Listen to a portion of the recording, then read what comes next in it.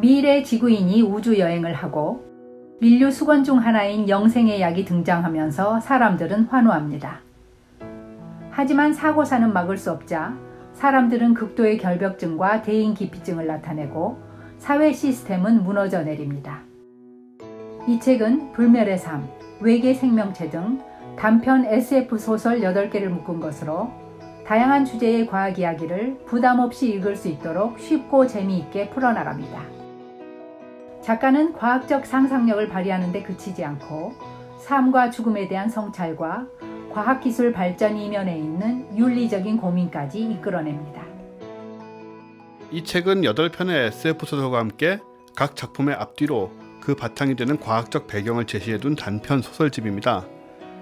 각 단편들은 밝혀진 과학적 사실이나 앞으로 가능해질 기술을 소재로 하는데 과학기술 그 자체보다는 과학기술의 발전 과정에서 우리가 맞닥뜨릴 새로운 철학적, 윤리적, 사회적 문제들이 주된 테마입니다.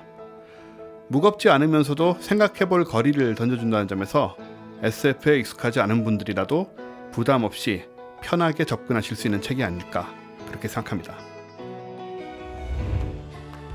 16세기 폴란드에서는 마차 바퀴를 빼놓거나 말을 숨기는 걸로 떠나는 손님에 대한 아쉬움을 표현했다고 합니다. 하지만 현재의 우리가 이런 행동을 한다면 따가운 시선을 받게 되겠지요. 이 책은 오늘날 우리가 아는 매너가 어떻게 시작되었는지 유럽 역사를 차근차근 훑으며 보여줍니다.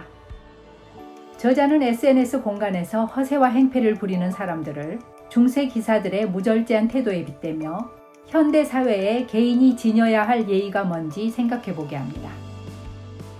매너의 문화사와 함께 디지털 결제가 확산되면서 현금이 퇴출되는 흐름이 인류의 자유와 개인의 사생활에 어떤 변화를 가져올지 디지털 경제의 역설을 다룬 21세기 화폐 전쟁이 사회과학 분야 추천 도서에 선정됐습니다.